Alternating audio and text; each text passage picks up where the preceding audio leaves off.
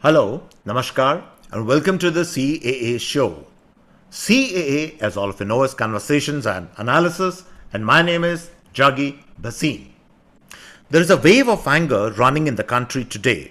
The country is quite simply outraged.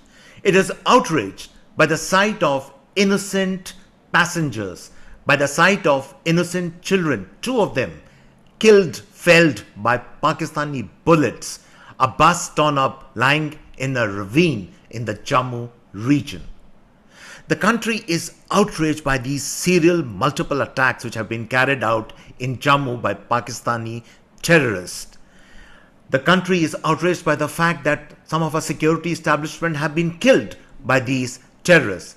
And the country wants answers. It wants a response to these attacks. What kind of a response should the country give? Should we go to war or should we carry some other kind of response? These are the questions which countrymen are asking at the moment. And therefore, today in this podcast, I will give you answers to this question that what kind of a response should we give to this perfidious Pakistani establishment, which of course has pre planned, it has carried out, it has targeted uh, these attacks on the very same day that the cabinet, uh, the swearing in ceremony was taking place at Rashtrapati Bhavan in New Delhi, the very same day Pakistani establishment uh, was in effect planning and carrying out these attacks on our soil. We have to give a response, but we have to give what I call a measured, nuanced, and a very effective and a very lethal response to this outrage. Now, this attack has exposed a couple of things from our end, a certain fault lines from our end. The fact is, we have to admit to ourselves that even though situation in Jammu and Kashmir have tremendously improved over the years, but a certain degree of complacency had set in. And the fact is, let us admit that to a certain extent our security forces were caught napping uh, literally as these attacks took place. This was not a single attack, but a serial number of attacks, and only nobody knows really that how many teams of these Pakistani terrorists are operating right now or have infiltrated in the Jammu region, and probably more attacks could be in the offing. We just don't know, and therefore we have to give a response to this outrage. So, as I said, a certain degree of complacency, a certain degree of that, uh, oh, we can respond anytime with a Balakot type attack. That is certainly not what I'm recommending. And therefore, I would start the, this podcast by giving you my own interpretation of what kind of response we should do. And the first response actually we should uh, give to the Pakistanis is that we are certainly not interested in going to war against Pakistan. We are not interested, at least at the moment, of taking back Pakistan occupied Kashmir. But we first need them to pay up. We first need to extract a price from them of this outrage which they have committed. We first need payback, as it is called, for this particular outrage, then all those big existential questions of war, POK, etc., can come much, much later. That is actually not the need of the hour, but we have to give what is called a tit for tat response and how best to carry that response. I'll give you my interpretation of that. To my mind, it should be an Israeli like response, but without all the facets of that Israeli response. There are some aspects of the Israeli response which we need to adopt and carry out, but leave out certain aspects, and I'm going to talk about all that in this particular podcast. Now, first understand this Pakistan is not Gaza, Pakistan is not Palestine, Pakistan is not the Hezbollah.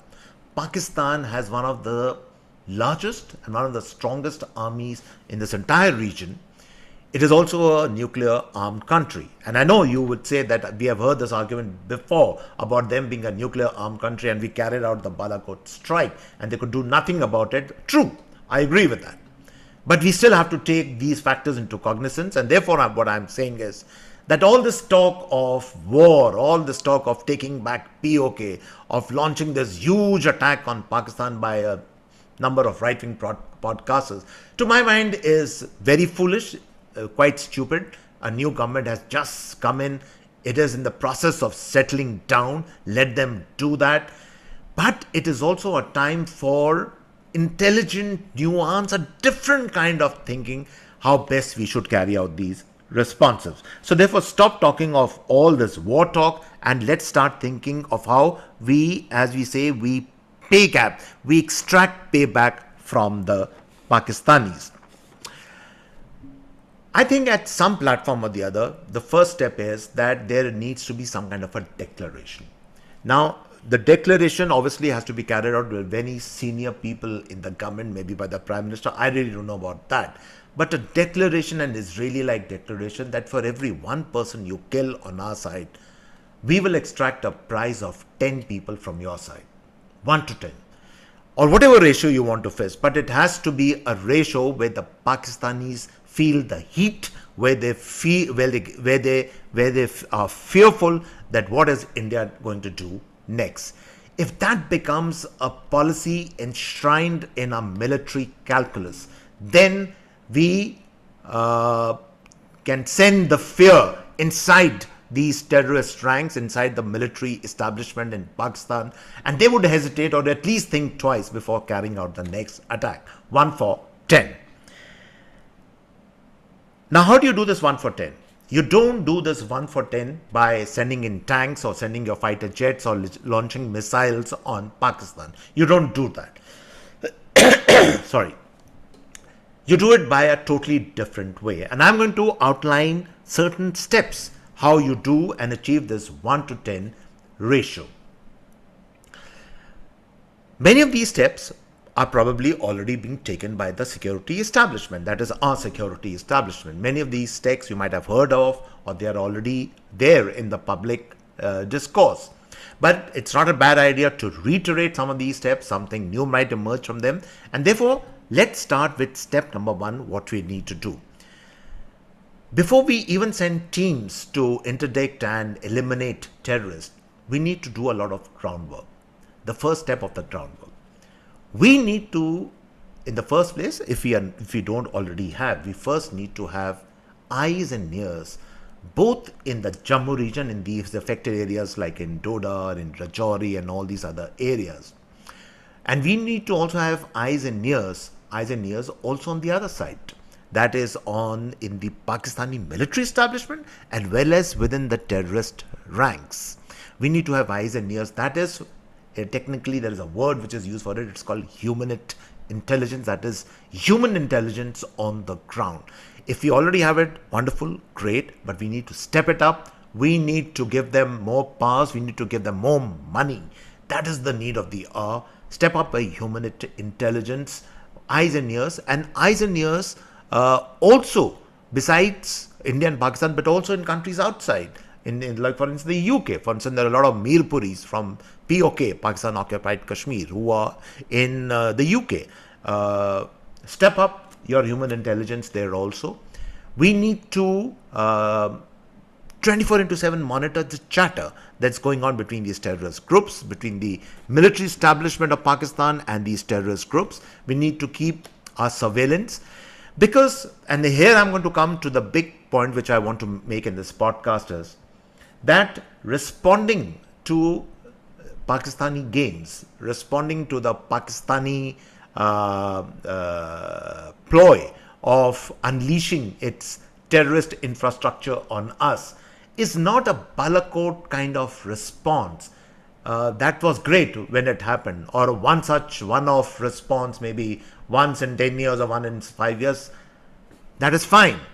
But what we really need to do is to have a 24 into 7 policy of surveillance, of interdiction, and elimination of Pakistani assets 24 into 7 all the time. That has to be the centerpiece of our policy against Pakistan. Because please remember, if nothing else, as I say, there's always a bit of a silver lining in a dark cloud. This is a huge tragedy which has happened for us, for Indians. But the silver only silver lining is that finally, after these attacks in Jammu, probably some of those idiots in this country who are always talking about the fact or do a rapprochement with Pakistan. I, I, I was uh, listening to this lady, Radha Kumar of the JNU, ex JNU, whatever, and uh, on Al Jazeera channel. Again, these people keep on make overtures to Pakistan, talk to Pakistan, uh, the Farooq Abdullahs and all these other people, at least if nothing else, at least should be clear to them that there is no talking to Pakistan. You don't talk with a country where it's now its DNA is made up of a terrorist DNA. It has gone so deep inside Pakistan that this is a way of life for them. They can never take it out of their system, really. Uh, if nothing else, these attacks prove that. So forget the talking. We really need to deal it in a way we see fit and hit them at a time and place of our choosing and not against this so-called pressure of going to war or scanning out another huge Balakot strike that is not necessary, that is not needed. And therefore, as I said, pick up the charter, step up a human intelligence on the ground. That's the first step. Number two,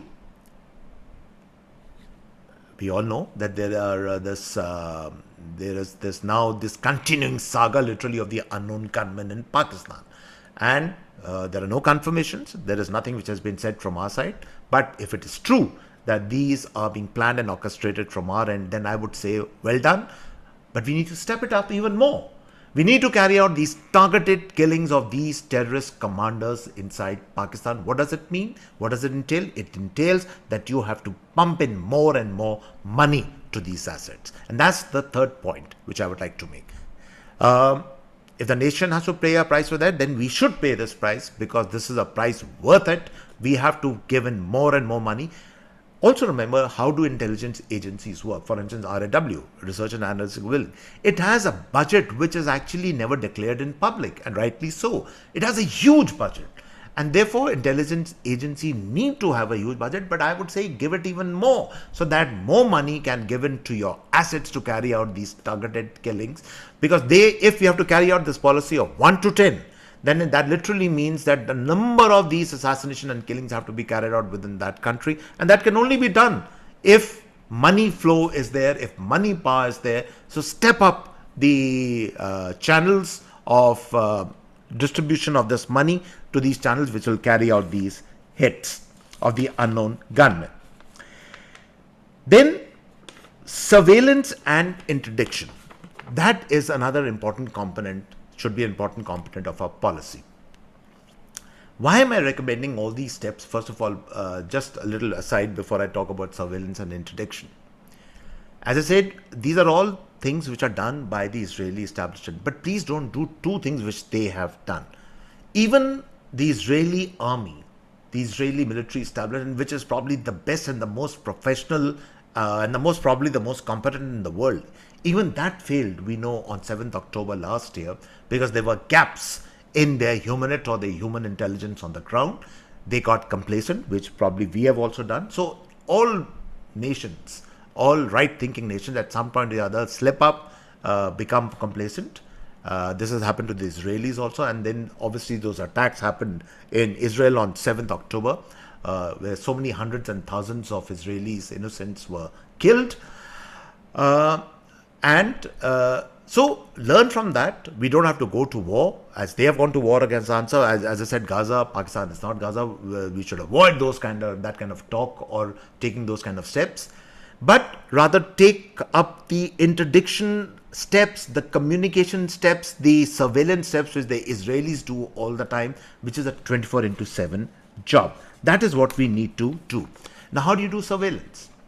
And for that, I'm going to recommend two important things if they are not already being done. Number one is fast track. Uh, the purchase and the deployment of these MQ9, I think, Predator drones. That's what they are called from the US. Now, these Predator drones, they fly at around 30 to 33,000 feet in the sky. Uh, they have excellent cameras, which literally to the last square inch on the ground, they map it out, they photograph, they know exactly the movement which is happening on the ground.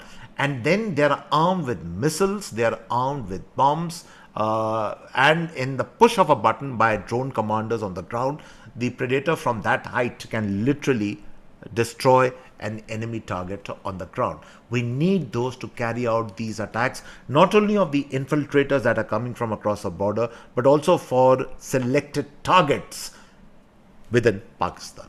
The Predator drones have therefore become absolutely vital in this new security shakeup if if it happens. Number two, uh, our own Indian manufacturers like Adani, they are also making rapid strikes in drone manufacturing. Check with them what kind of drones now are ready for deployment uh, uh, with this dual purpose of surveillance and interdiction or uh, elimination.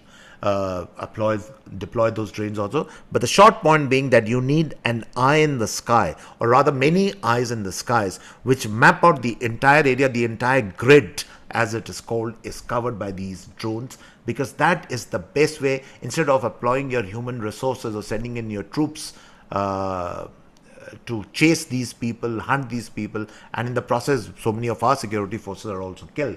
You can avoid all that by the presence of these predator drones in the sky. But there is another development which has taken place, and only in the last, uh, I think, a few weeks, the Russians, and we have very good ties with the Russians, the Russians have now come up with a drone that literally flies just a few feet above the ground.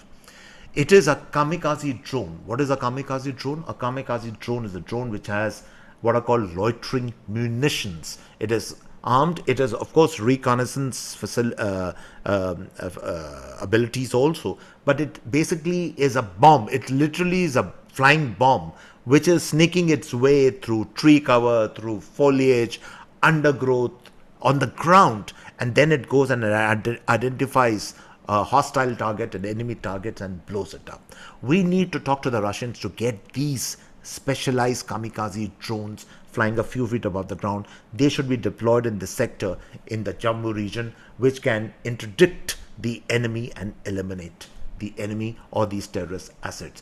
So a large part of this elimination can actually be done by drone warfare. We really don't even have to use our troops really or put them at risk. Um, the moment they, they make an entry, the moment they try and hide in the caves in these regions, the moment they try and take refuge, we have to send in, uh, we have to deploy our eye in the sky.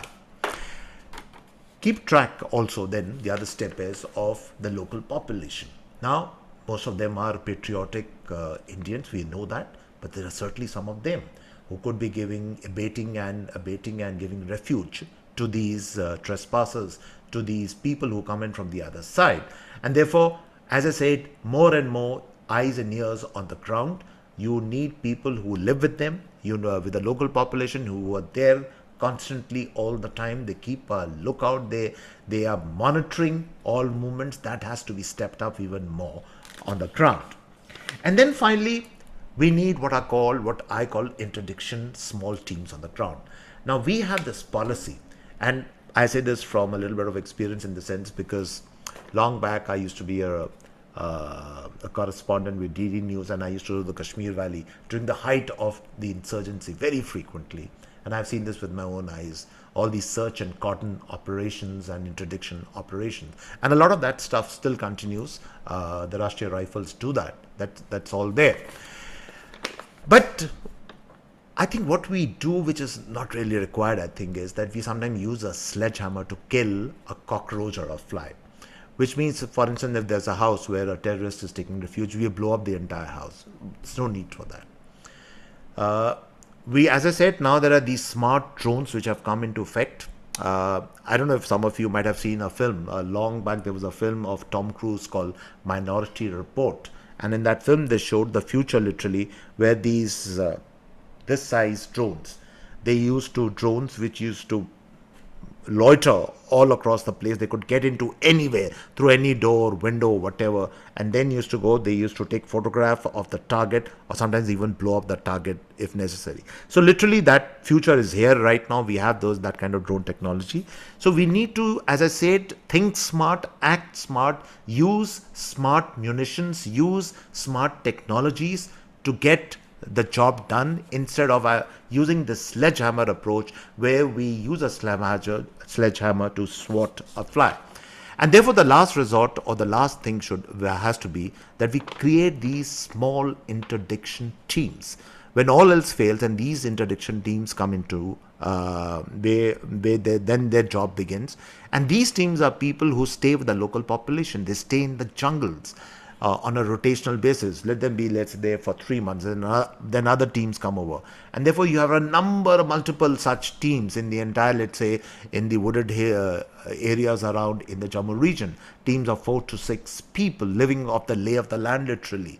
People who are skilled in who are skilled in carrying out targeted killings, um, who know how to spot the enemy coming from the other side, uh, engage them in firefights and eliminate them you don't even have to send all your troops and this kind of big the troops are really if you ask me are really the deployment is of troops is like you do it in the big kind of confrontation like the one which actually that eye to eyeball to eyeball deployment which we have now on the chinese on the border with china. They're really meant for that. You need skilled specialized small interdiction teams skilled at targeted assassination, targeted killings, which are operating on the ground in these jungles, but on a 24 into 7 basis. There is no let up in this because if you think that there will be for six months there is peace and nothing's going to happen after that after a few months definitely attacks are going to come. That is the dna that is the nature of the pakistani establishment. We just have to accept it. We just have to live with it. There is nothing we can do about it and we have to deal with it we cannot run away from it, and this has to be our response. So, therefore, what I'm saying is, in conclusion, a 1 to 10 response against the Pakistanis. You kill one of us, we eliminate 10 of yours.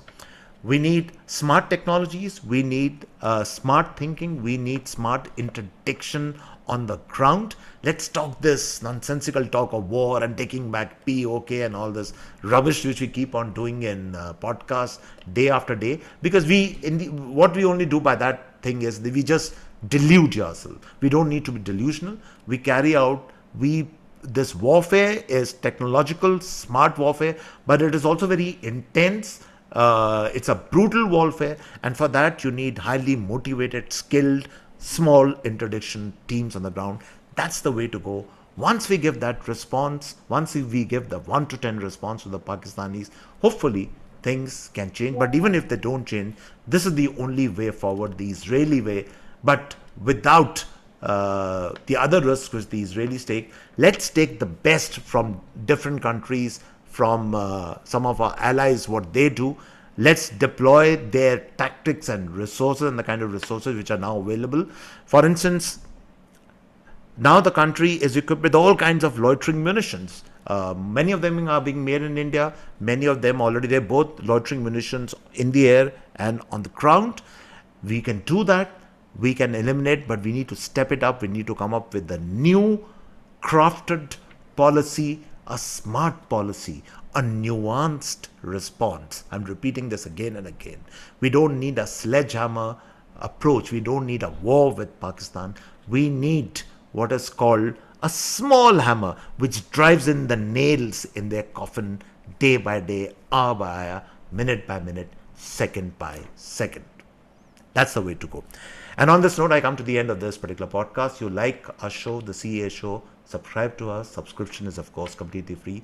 Press on that red button, and I promise you, I'll bring you all the hot button issues of the day, always with a twist, with some new ideas. Goodbye, and cheers from my end.